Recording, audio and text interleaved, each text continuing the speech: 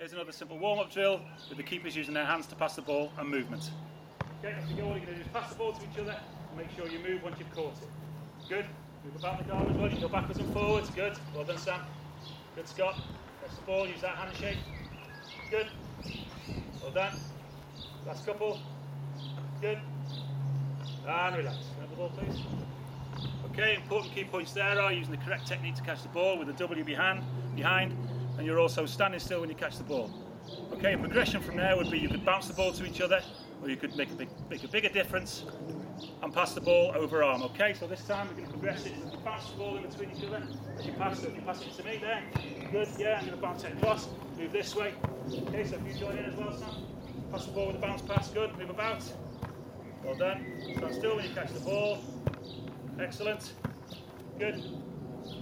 Okay, and relax. Okay, and if you want to, for the last one, if you want to move the overarm throw, so if we're moving about again, bigger, bigger areas, yeah, stretch that, use your left arm as well. Just don't pass in. Good, if it bounces, it happens in a game, it doesn't matter. Good. Okay, do you want to have a go at that, Sam? Off you go, just overarm passes. Good, excellent technique, great technique. Yeah, great technique, good. Okay, can you think of another throw that you could use there, Scott? Yeah, good. Well then, what about one along the floor?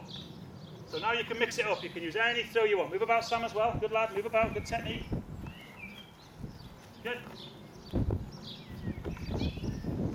Okay, and relax.